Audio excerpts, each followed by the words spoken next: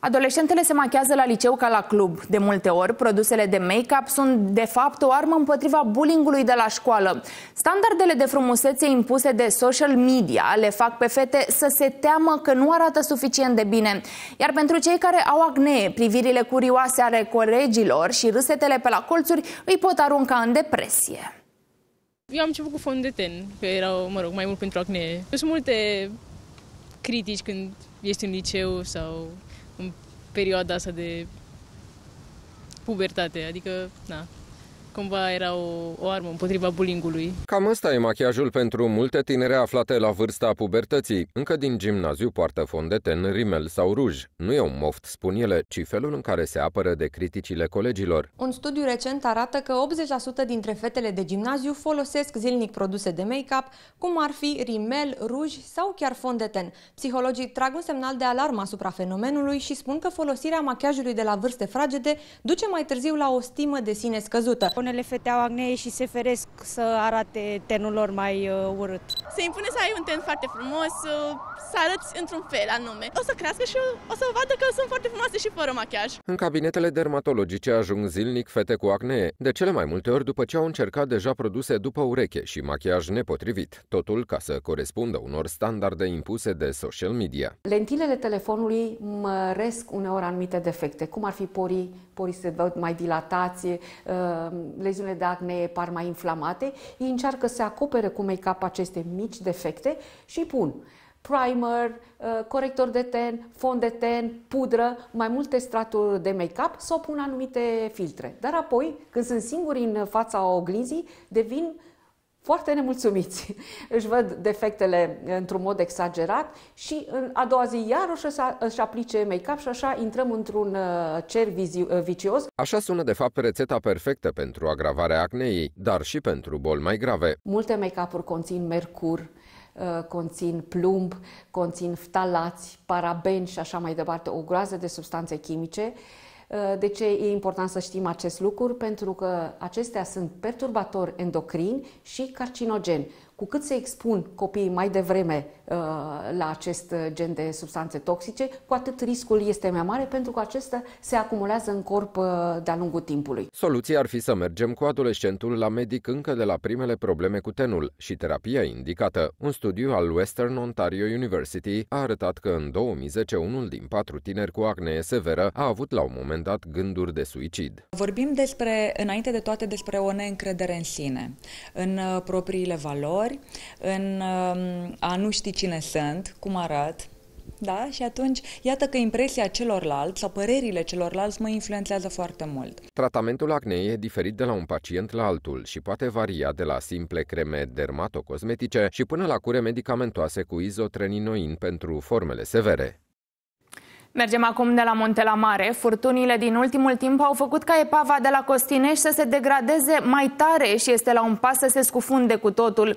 Iar un alt simbol al stațiunii, o sculptură de patrimoniu, a fost distrusă cu un picamăr. Primarul arată cu degetul către Biroul de Turism pentru Tineret, instituția care administrează o parte din Costinești.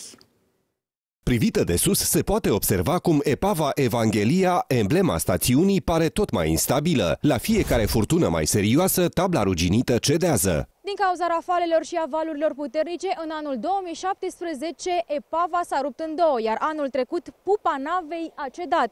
În prezent, vasul are o gaură imensă și riscă să se prăbușească. Primarul stațiunii a trimis mai multe adrese către Guvernul României Apele Române, dar și către Autoritatea Navală Română pentru a afla cine este responsabil pentru conservarea epavei. A statului cumva, dar nu recunoaște nimeni. Dacă nu s-a conservat și consolidat acum 40-50 de ani, în momentul ăsta, deja jumătate din ea aproape s-a scufundat. Deși are potențial turistic și pe timpul verii oamenii chiar o explorează în adâncuri, nu se știe dacă epava va mai rezista și în acest sezon estival. Era o eticheta Costineștiului înainte epava, pentru asta era vizitat. De am adus copiii acum să, să o vadă cât încă mai este în forma asta până nu dispare de tot. Când ați fost ultima dată la Cosneș? Cred că în urmă cu vreo 5 ani. Cum arăta atunci?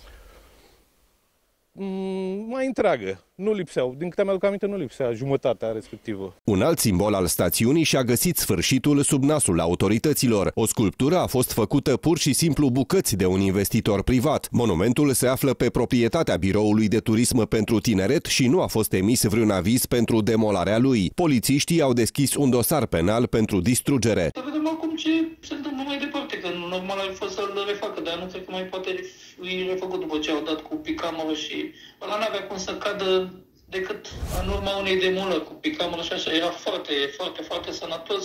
Lucrarea a fost realizată în anii 70 și face parte dintr-un mic muzeu realizat în aer liber. După cele întâmplate, investitorul a fost sancționat cu 10.000 de lei. Am încercat să-l contactăm și pe directorul biroului de turism pentru tineret, dar acesta nu a răspuns apelurilor noastre. În România sunt peste 6 milioane de câini fără stăpân care trăiesc pe străzi, dar și pisici, iar numărul lor crește de la o zi la cealaltă.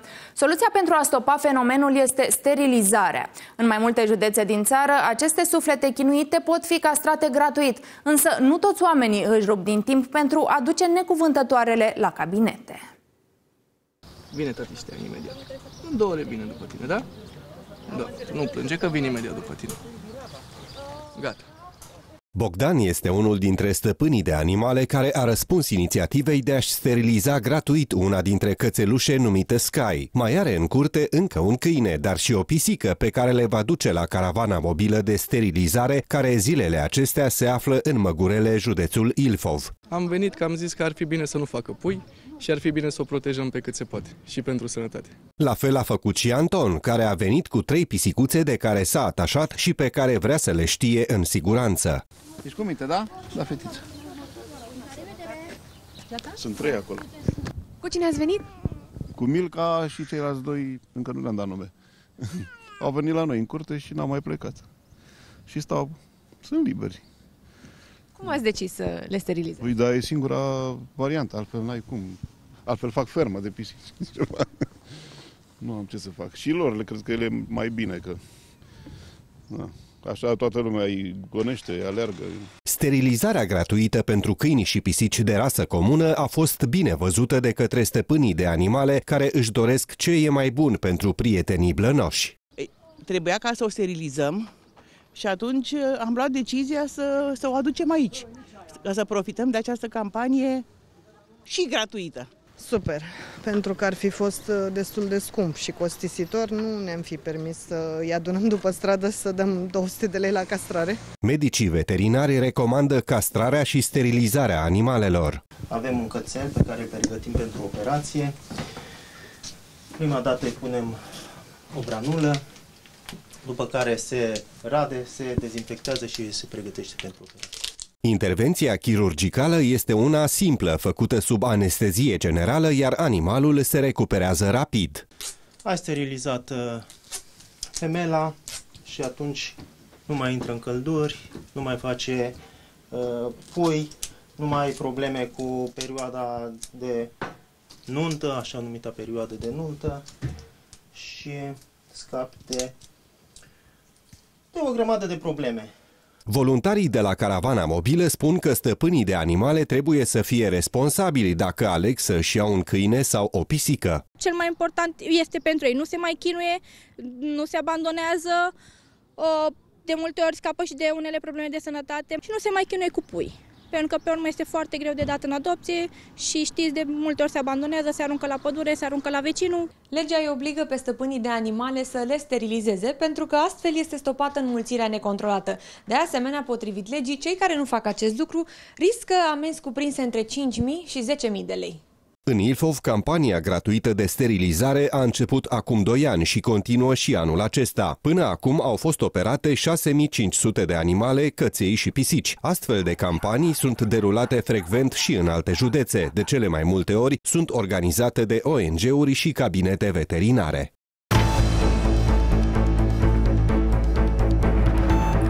Meteorologii vin cu vești proaste pentru acest început de săptămână. După ce ne-am bucurat de câteva zile cu vreme caldă, apar ploile și temperaturile scad simțitor. Cu mai multe detalii vine însă colega mea, Elvira Costache. Bună dimineața, Elvira, te ascultăm. Bună dimineața, Cristina! Bun găsit tuturor! Chiar acum alături de mine se află meteorologul de serviciu Meda Andrei, care ne va oferi toate informațiile. Bună dimineața! Vă mulțumesc pentru prezența în jurnal. Așadar, ce zone sunt afectate de ploi și temperaturile scăzute? În prima jumătate a acestei săptămâni, temperaturile vor fi într-adevăr, să spun, puțin mai scăzute decât cele din a doua jumătate a săptămânii, când se va încălzi. Adică, în marelor majoritate, se vor situa între 4 și 14 grade. Uh, și, deși poate dimineața, noaptea este ceva mai răcoare, oricum, per total, să știți că aceste valori vor fi peste cele specifice acestei date. Unde va fi cel mai frig? Cel mai uh, răcoare, să spun, chiar foarte frig nu o să fie, prin uh, Moldova, estul Transilvaniei, zonele de munte, acolo vor fi cele mai scăzute temperaturi. Să ne spuneți un pic și cum vor fi nopțile. Nopțile destul de uh, răcoroase și asta tot așa, în special în partea de nord-est a teritoriului, în zonele de deal și de munte, unde se vor înregistra temperaturi negative, partea de a Transilvaniei, unde suntem obișnuiți să avem cele mai mici uh, valori. Aici ele vor fi sub 0 grade, în timp ce în celelalte regiuni uh, vor fi pozitive. Când ne vom bucura de o încălzire a vremii? Uh, mai cresc temperaturile din a doua jumătate a săptămânii. Ele vor crește destul de bine pentru că, în general, se vor situa între 10 și 20 de grade, iar noi, în mod normal, ar trebui să avem cam între 0 și 8 grade. Prin urmare, o încălzire destul de accentuată a vremii. Chiar și în București, o temperaturi de peste 15 grade, cam de joi în, încolo. Până atunci însă în capitală cam 9-12 grade, așa să fluctueze temperatura în funcție de cât nori vor fi până atunci. Vă mulțumesc pentru aceste informații. Așadar, chiar dacă vom avea parte de ploi și temperaturi scăzute, în a doua parte a săptămânii vremea se va încălzi. Acestea au fost informațiile. La revedere! Mulțumesc, Elvira. Am o stare proastă pentru că este urât afară. Asta spun cel mai des oamenii meteosensibili, adică cei care spun că se simt rău din cauza schimbărilor bruște de temperatură. Cum se explică aceste stări și cum le putem combate, aflăm astăzi de la cunoscutul medic de familie Răzvan Vintilescu. Bună dimineața, bine ați venit la noi. Bună, bine v-am găsit. Așadar, în primul rând, cum se explică aceste stări de rău cauzate de vreme? În primul rând vorbim de două aspecte. Vorbim de niște motive psihologice, de exemplu, da, toamna, iarna, noi avem impresia că zilele de fapt sunt mai scurte, ne trezim pe întuneric, venim acasă tot pe întuneric, ceea ce nu ne dă neapărat o stare de bine. Însă realitatea este că iarna, în special durata zilei, crește, deci ar trebui să fim mai fericiți că vedem mai multă lumină de la o zi la alta, dar există și uh, motive fizice pentru acest lucru. Avem acces la mai puțină lumină, noi nu suntem o specie care să trăim pe întuneric, uh, avem acces la mai puțin uh, oxigen de multe ori, da?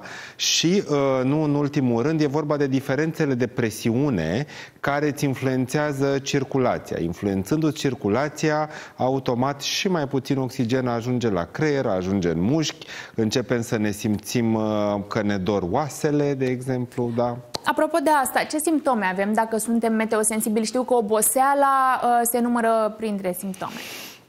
Oboseala, da, oboseala care este dată de cele mai multe ori pentru că nu ne mai odihnim așa cum, uh, cum trebuie. Întunecându-se foarte devreme, uh, ne dereglăm ciclul uh, somn cu uh, partea de muncă, cu partea de lucru. Dar este vorba de dureri articulare, în primul rând. În uh, momentul în care se schimbă presiunea atmosferică, totul este influențat în corpul nostru, inclusiv acele articulații care sunt ținute într-o capsulă. Da? Deci vorbim de articulația genunchiului, vorbim de șolduri, uh, vorbim de Uh, dureri musculare, care sunt, cum spuneam mai devreme, datorate faptului că nu ajunge suficient oxigen în uh, acei uh, mușchi. Cine sunt pacienții care sunt cel mai des meteosensibili, bărbații sau femeile? De obicei, studiile spun că femeile resimt cel mai des Uh, astfel de probleme legate de starea vremii de afară. Motivul este că oricum o femeie va avea niște variații hormonale mult mai mari decât bărbații, da? Fluctuația nivelurilor de estrogen, de progesteron, le influențează modul în care ele sunt și în care acționează și reacționează la diferiți stimuli pe care îi primesc din, uh, din viața de zi cu zi. Persoanele care suferă de boli sunt uh, mai sensibile la vremea de afară. Care ar fi aceste boli? Vorbim de boli inflamatorii. Da? Inflamația cronică, care este, de fapt, flagelul uh, acestui secol, să spun, uh, e principalul vinovat. Momentul în care vremea de afară este închisă, este urâtă, plouă, avem o schimbare de presiune. Schimbarea asta de presiune crește inflamația. Să nu uităm că noi ca și organism funcționăm pe baza unor reacții electrice. Da? Avem mereu un schimb de protoni, un schimb de neutroni între celule. Tot ceea ce facem este electric. Avem un câmp electromagnetic, schimbările de presiune, când plafonul de nori este foarte jos, induc astfel de interacțiuni și cu corpul nostru. Deci este normal să fim afectați, pentru că masa noastră uh, este mult mai mică decât tot ceea ce se întâmplă în uh, jur. Dar vara putem fi meteosensibili? Vara se întâmplă un alt fenomen foarte interesant. Suntem bucuroși că ziua este lungă, că ajungem acasă de la muncă, încă putem să ne întâlnim cu prietenii, să petrecem, stăm afară până târziu, ne bucurăm de tot ceea ce este în jur moment în care tindem să uităm de afecțiunile noastre zilnice, nu mai suntem atenți la ele și atunci putem trece în partea cealaltă. Da? Dar canicula ne poate afecta? Canicula, da, dar canicula eu nu aș include neapărat la meteosensibilitate, ci aș include-o la partea de factori externi care ne influențează direct starea de sănătate. Da? Acolo ai o cauză, căldură excesivă, umiditate excesivă și ai un efect. Variații ale tensiunii arteriale, ale pulsului. Pot fi și copiii meteosensibili? Este o întrebare mm, excelentă. Copiii pot fi meteosensibili din punctul meu de vedere doar dacă discutăm de partea în care ei se trezesc dimineața ca să meargă la școală, să meargă la grădiniță și văd că afară este întuneric. Și atunci este normal să fii trist când tu ești obișnuit să dormi când afară e întuneric, vezi că te trezești și nu înțelegi de ce. Uh, oamenii adulți uh, au reacții psihosomatice atunci când este vorba de schimbarea vremii. Copiii nu prea au aceste reacții, cu excepția schimbării uh, luminii de afară. Da? Văd că este întuneric, te-ai trezit, vreau să fac nani în patul meu. Dacă ar fi fost lumină, o să observați cei care aveți, uh, cei care au copii mici, știu că atunci când îi trezesc dimineața și deja e lumină, copilul se trezește mult mai fericit. Cum tratăm aceste stări de rău cauzate de starea vremii? În primul rând trebuie să ne monitorizăm niște constante fiziologice. Deci trebuie să ne monitorizăm tensiunea, trebuie să monitorizăm pulsul, ne monitorizăm glicemia, trebuie să fim atenți dacă ne dor genunchii, dacă ne dor alte articulații, cot, umeri, articulațiile mari în general, și să încercăm să ne ținem în frâu bolile cronice. De fapt, despre asta este vorba. Iar atunci când vorbim pur și simplu de simptome depresive, vai, nu mă simt bine pentru că, uite, ce întunecat e afară, uite, putem încerca tehnici de meditație, putem încerca tehnici de respirație, da? Pentru a ne regla astfel încât să nu ne mai autoinducem acel sentiment de, uh, de panică, da? Pentru că acel sentiment va genera din nou o schimbare hormonală în corpul nostru nostru care ne va face să ne simțim mai rău. Dar cum prevenim aceste stări de meteosensibilitate? Încercăm să ne gândim pozitiv. Plimbări? Sunt recomandate? A, cred că trebuie să fim mai în contact cu natura, de fapt. Da? Adică să nu ne mai ducem viața exclusiv birou, casă, birou, casă. Trebuie să începem să petrecem mai mult timp afară. Chiar dacă este întuneric, chiar dacă s-a întunecat, putem face o plimbare, putem să mergem pe jos 100-200 de metri. Uh, dacă plouă, nu înseamnă că trebuie să stăm în casă tot weekendul tot poți să ieși, să uh, mergi pe jos până la un magazin sau să faci minimul uh, efort de a nu parca fix lângă ușa magazinului unde vrei să, să ajungi. Suplimentele ajută pentru a nu fi meteosensibil? Suplimentele te ajută pentru a-ți ține în echilibru partea aceasta hormonală, da? pentru a-ți ține în uh, frâu bolile pe care le ai.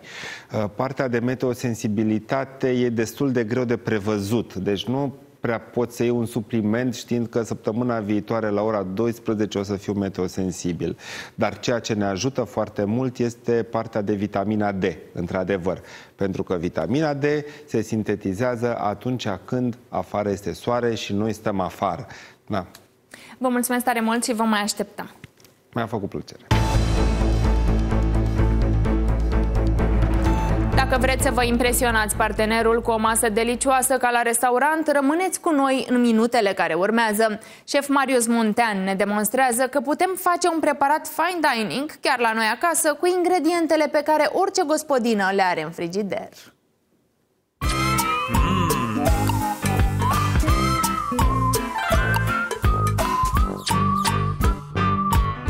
Un uh, piept de porc uh, gătit la cuptor Uh, am ales să fac niște cartofi umpluți uh, cu bacon afumat și cu cașcaval. Uh, și asta nu este tot, am ales să fac și un uh, piure de morcov, fiind, fiindcă este iarnă, încercăm să folosim cât mai mult uh, rădăcinoasele, iar pentru a-i da o, un gust uh, complet, să zic, preparatului, am ales să fac un sos de gutui. Gutui am uh, copt-o în prealabil împreună cu pieptul de porc, uh, după care am curățat-o, am uh, călit-o un puțin unt, i-am dat uh, foarte puțin vin alb pentru a-i da un gust uh, acid și acrișor, acid și acrișor.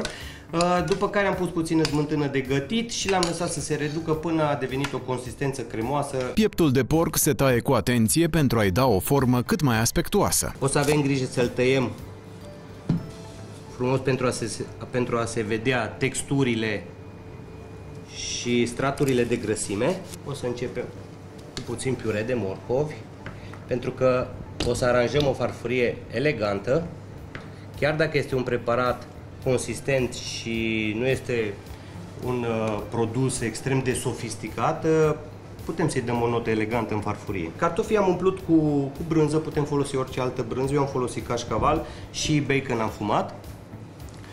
O să punem sosul. Sosul dulce acrișor va completa perfect preparatul nostru din piept de porc. Am făcut și roșii coapte pentru că îi dă o notă proaspătă și fresh preparatului și atunci am ales să folosesc câteva roșii coapte. Șef Marius Muntean vă recomandă să nu uitați să dați și o notă de prospețime preparatului. Găsim frunze verzi uh, de toate soiurile și îi dăm o, o notă elegantă preparatului și chiar și o notă sofisticată. Tot secretul acestui preparat este, este carnea, trebuie să avem foarte mare grijă să o ținem la cuptor timp de 3-4 ore la o temperatură joasă, 130-135 de grade. Este foarte important să o punem uh, presată la cuptor, pentru că fiind un piept de porc, el tinde să-și să, să deformeze la cuptor și atunci este important să punem uh, într-o tavă cu hârtie de copt, punem uh, pieptul de porc, după care punem o greutate deasupra pentru a-l ține drept. Odată carnea pregătită, se trece la aranjarea farfuriei.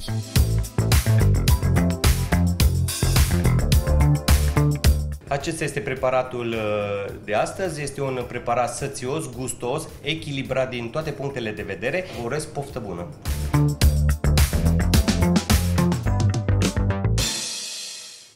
Sacoul este o piesă ce nu trebuie să lipsească din garderoba doamnelor. De multe ori însă el este o piesă costisitoare. Există însă o variantă de sacou în trend care este și prietenoasă cu portofelul. Despre ce este vorba ne spune chiar acum colega mea, Gabriela Ghizel. Bună dimineața, Gabi, te ascultăm! Bună dimineața tuturor! Așa este, sacourile au devenit o parte esențială din garderoba doamnelor, dar ce ați spune dacă ați afla că le putem și împrumuta din garderoba partenerilor noștri și despre asta vom vorbi în această dimineață cu Ecaterina Colasus. Bună dimineața, Cati, care ne-a pregătit aici câteva sacouri bărbătești, dar accesorizate într-un stil feminin și eu port un tricou alb. Hai să vedem cum se potrivește.